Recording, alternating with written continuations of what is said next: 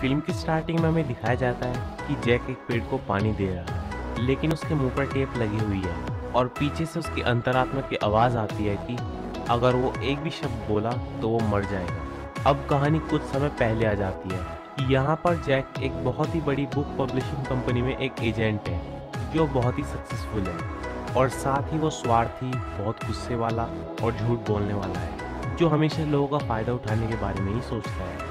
लेकिन एक उसकी अच्छी क्वालिटी भी होती है कि वो किसी को भी अपनी बातों में फंसा कर उससे अपना कम निकलवा सकता था। जैसे वो सबसे पहले कॉफ़ी लेने के लिए लंबी लाइन को देखकर फ़ोन में उसकी वाइफ की डिलीवरी का बहाना बनाकर सबसे आगे कॉफ़ी ले लेता है। वहाँ पर वो कॉफ़ी देने वाले से भी अच्छा बर्ताव नहीं करता है। दरअसल कॉफ़ी देने वाले को बीटल म्यूज़िक में इंटरेस्ट होता है और जैक ने बीटल म्यूज़िक को देने के लिए कई बार वादे किए हैं, पर आज तक उसने कभी अपना वादा नहीं निभाया है।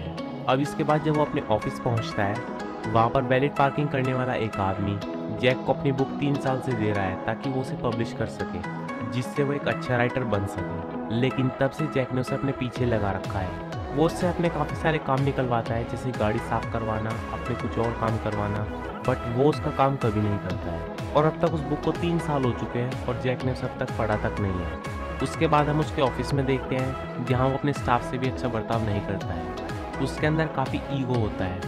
अब इनका पूरा स्टाफ एक मीटिंग करता है, जिसमें ये सभी डॉक्टर शिंजा के बारे में बात करते हैं।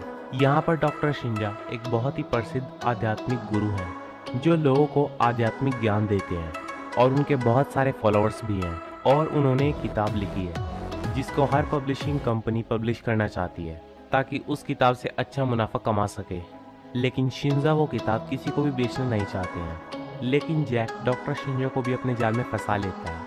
वो उन्हें बताता है कि वो उनके ज्ञान को पूरी दुनिया के साथ बांटना चाहता है और डॉक्टर शिंजा भी उसकी बात के लिए मान जाते हैं। अब जैक यहाँ पर काफ़ी खुश होता है क्योंकि उसका काम यहाँ पर हो चुका होता है एंड तभी वो वहाँ पर अपना हाथ एक पेड़ पर रख देता है। तो तभी उसका हाथ कट जाता है, उसकी उंगली से खून निकलने लगता है, जैसे जैक को उस पेड़ ने काटा हो। लेकिन जैक इस बात को इग्नोर करते हुए वहाँ से चला जाता है। अब जैक अपनी खुशी में अपनी माँ से मिलने के लिए चला जाता है, जो ओल्ड एज होम में रहती है। लेकिन उनकी काफ़ी उम्र हो चुकी होती है, इसीलिए वो धीरे धीरे सब कुछ भूलती जा रही थी। वो यहाँ पर जैक को भी नहीं पहचानती है। वो जैक को उसका पति रेमंड समझ रही है। लेकिन जैक को अपने पिता के बारे में बात करना बिल्कुल भी पसंद नहीं, क्योंकि उसके पिता उसे बचपन में ही छोड़कर चले गए थे, जिससे जैक अपने पिता से नफरत करता है, एंड इसके बाद वो अपने घर पर चला जाता है। लेकिन यहाँ पर भी उसकी वाइफ से उसकी कहासुनी हो जाती है। लेकिन अचानक से कुछ होता है, जैसे भूकंप आया हो। पर यह भूकंप नहीं था। अब जब जैक अपने घर के बाहर जाकर चेक करता है तो उसे अपने गार्डन में वही पेड़ दिखता है। ये वही पेड़ होता है जिसने शिंजा के आश्रम में जैक को काटा था। अब जैक अपने ऑफ़िस आता है और देखता है कि शिंजा ने अपनी किताब भेजी है, जो सिर्फ़ पाँच पेज की है। लेकिन इस पाँच पेज की किताब को देखकर जैक को बहुत गुस्सा आता है। तो इसीलिए वो शिंजा से मिलने के लिए उसके आश्रम में चला जाता है, ताकि शिंजा से पूरी बुक ले सके। लेकिन शिंजा की पूरी बुक यही पाँच पेज की होती है। अब जैक उस पेड़ के बारे में शिंजा को बताता है, जो उसके गार्डन में है। लेकिन शिंजा साफ़ मना कर देता है कि ऐसा उसने कोई भी गिफ्ट नहीं भेजा है। तो इस बात को लेकर जैक शिंजा को अपने घर पर ले आता है। अब शिंजा वो पेड़ देखते हैं और जैक को ये बताते हैं कि जैसे जैसे तुम बोलते जा रहे हो, इस पेड़ के पत्ते गिरते जा रहे हैं। और यहाँ पर शिंजा जैक को समझाता है कि वो कुछ भी शब्द बोलेगा तो पेड़ का एक पत्ता गिर जाएगा। और जिस दिन पेड़ के सारे पत्ते गिर जाएँगे, उस दिन पेड़ मर जाएगा तो शायद जैक भी मर जाए। लेकिन जैक इन सब बातों में नहीं मानता और वो तुरंत एक कुलाड़ी लाता है और पेड़ को काटने की कोशिश करता है। लेकिन जैसे ही वो कुलाड़ी पेड़ पर मारता है, जैक खुद दूर जाकर पड़ता है और कुलाड़ी का घाव उसे खुद ही लगता है। अब यहाँ पर जैक और वो पेड़ एक दूसरे से जुड़ चुके थे। अब ये सब देखकर जैक शिंजा पर इंजाम लगाता है कि ये सब उसी ने किया है। लेकिन शिंजा साफ़ मना कर देता है और कहता है कि वो तीन दिन के लिए धार्मिक सभा के लिए बाहर जा रहा है और उसे ये यकीन दिलाता है कि वो उसके लिए कुछ ना कुछ ज़रूर करेगा और उसके लिए कोई ना कोई इलाज ज़रूर लेकर आएगा। अब जाते जाते शिंजा जैक को ये सलाह देते हैं कि वो किसी से भी बात ना करे। अब जैक दूसरे दिन ऑफ़िस जाने से पहले अपनी वाइफ के लिए एक नोट लिखने लगता है। जिसमें वो ये बात नोटिस करता है कि वो जैसे जैसे शब्द लिखता जा रहा है, वैसे वैसे पेड़ के पत्ते नीचे गिरते जा रहे हैं। अब इससे जैक समझ जाता है कि वो सिर्फ़ इशारों में ही बातें कर सकता है। चाहे कॉफ़ी लेने जाना हो या अपनी गाड़ी को पार्क करना हो, उसे हर जगह इशारों में ही बात करनी पड़ती है। अब जैक के ऑफ़िस में उसकी बॉस समैंथा यूरोप से आए हुए कुछ लोगों से उसे मिलवाती है और अपने और डॉक्टर शिंजा के साथ अपने अनुभव शेयर करने के लिए कहती है। तभी दूसरी तरफ़ हम उसी पेड़ को देखते हैं, जिस पर दो गिलहरियाँ खेल रही होती हैं। और जैक को भी यही सब अनुभव होने लगता है। अब इसके बाद जैक और उसका असिस्टेंट एरॉन एक रेस्टोरेंट में जाते हैं, जहाँ पर पब्लिशिंग कंपनी वाले उनसे डील करना चाहते हैं। बट यहाँ पर जैक अपनी तरफ़ से अपने असिस्टेंट को बोलने के लिए कहता है। इसी वजह से ये मीटिंग काफ़ी फनी रहती है। अब जैक के घर में एक सर्वेंट उसी पेड़ को पानी दे रहा होता है, और उसी के साथ साथ जैक भी पूरा भीग जाता है। लेकिन जैक के ना बोल पाने के कारण डील साइन नहीं होती। अब इसके बाद जैक अपने घर पर जाता है। तो उसकी वाइफ मेकन, बेटे टाइलर के भविष्य के बारे में जैक से बात करती है तो जैक कुछ भी नहीं बोल पाता, जिसके कारण दोनों में झगड़ा हो जाता है। बाद में जैक डॉक्टर शिंजो को बाहर आकर कॉल करता है, लेकिन डॉक्टर शिंजो को भी इसका इलाज नहीं मिला था, और वो जैक से मिलकर बात करने को कहते हैं। अब यहाँ पर जैक इशारों में बात करना सीख चुका है, लेकिन तभी उसके ऑफ़िस में एक अर्जेंट मीटिंग आ जाती है। जिसमें उसका बोलना बहुत ही ज़्यादा ज़रूरी है। तो इसके लिए वो पपिट डॉल्स का सहारा लेता है और वो डील साइन करवा लेता है।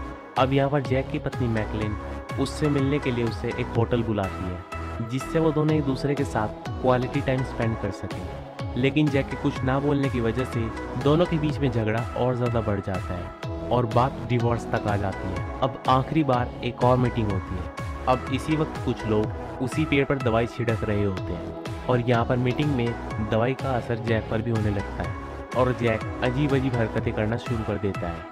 अब अंत में जब जैक की बॉस समैंता उससे वो बुक मांगती है तो जैक वही पाँच पेज वाली बुक उसे दे देता है, जिससे उसकी बॉस बहुत ज़्यादा गुस्सा हो जाती है और जैक को जॉब से निकाल देती है। अब घर पर जैक अपने असिस्टेंट आरोन को अपनी सारी प्रॉब्लम समझाता है, जिसे आरोन समझ जाता है।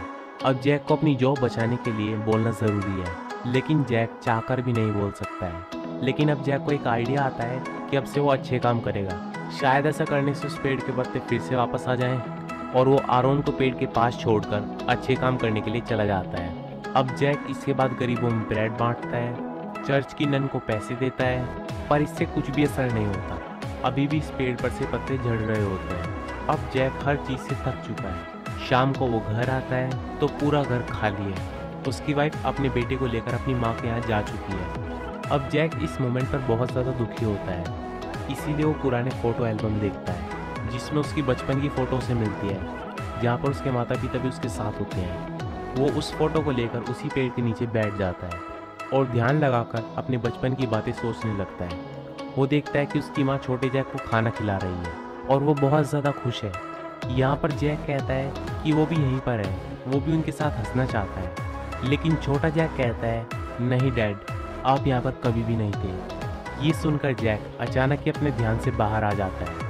अब जैक रात को डॉक्टर शिंजर से मिलने के लिए एक रेस्टोरेंट में जाता है। यहाँ पर डॉक्टर शिंजर जैक को बताते हैं कि इसका कोई भी इलाज नहीं है, कोई भी इस पेड़ के बारे में नहीं जानता और एक सलाह देते हैं कि तुम अपने अंदर का सच तलाश करो, सच बोलो और सच को स्वीकार करो कि जिस दिन सारे पेड़ के पत्ते गिर जाएँगे, तुम मर जाओगे। ये सब सुनने के बाद जैक बहुत ही ज़्यादा दुखी हो जाता है और अपने घर पर बहुत सारी शराब पी लेता है और पेड़ के ऊपर गुस्सा करने लगता है। दूसरी तरफ़ उसका असिस्टेंट आरोन उसे ये सब करने से रोकता है, लेकिन जैक नहीं मानता, क्योंकि वो बहुत परेशान होता है। और यहाँ पर जैक को कुछ भी समझ में नहीं आ रहा होता है कि अब वो क्या करे। और वो अब गुस्से में उस पेड़ के सभी पत्ते गिराने लगता है, लेकिन उसका असिस्टेंट आरोन उसे ऐसा करने से रोकता है। लेकिन जैक फिर भी नहीं मानता, इसीलिए आरोन उसे बेहोश कर देता है और जैक के मुँह पर टेप लगाकर वहाँ से चला जाता है। अब अगले दिन जैक सच को स्वीकार कर लेता है और पेड़ के पास जाकर खड़ा हो जाता है, जहाँ पर उसे शिंजा की वही पाँच पेज वाली किताब दिखती है और वो उसी पेड़ के नीचे बैठकर उसे पढ़ने लगता है। अब यहाँ पर जैक को ऐसा लगता है कि उसे अपनी गलतियाँ समझ में आ गई हैं और वो उन्हें ठीक करने के लिए चला जाता है। वो सबसे पहले अपनी पत्नी के पास जाता है। वहाँ पर वो इशारों में ही अपने परिवार के प्रति अपना प्यार दिखाता है और उसके बाद वो वहाँ से चला जाता है। फिर वो कॉफ़ी शॉप जाता है और उस लड़के को बीटल म्यूज़िक देता है, जिसको देने का वादा हमेशा जैक किया करता था। इसके बाद जैक कार पार्किंग वाली लड़की की किताब को पढ़ता है और उस किताब को पब्लिश कर देता है और उसे किताब की पब्लिशिंग का चेक भी देता है। इस सब के बाद वो अपनी माँ से मिलने के लिए जाता है और उसकी माँ फिर से जैक को रेमंड समझती है। रेमंड जो कि जैक के पिता होते हैं, पर जैक इस बार अपनी माँ की बातें सुनता है। वो कहते हैं कि रेमंड तुम्हारे लड़के को लगता है कि उसके कारण तुम हमें छोड़कर चले गए। इसीलिए वो गुस्सैल और स्वार्थी है।